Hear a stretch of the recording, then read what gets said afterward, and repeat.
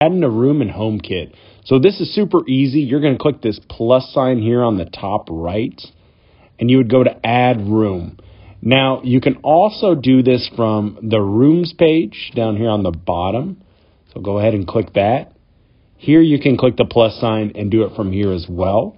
Um, so we'll go ahead and click the add room button. Once that's clicked, you're going to name your room. So we'll say bathroom.